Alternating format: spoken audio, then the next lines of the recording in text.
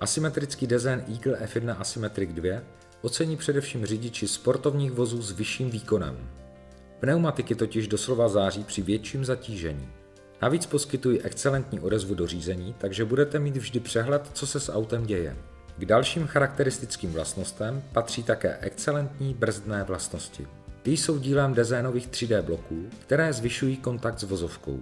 Pomáhá i technologie Active Braking, která na výše zmíněné bloky postupně přenáší zatížení.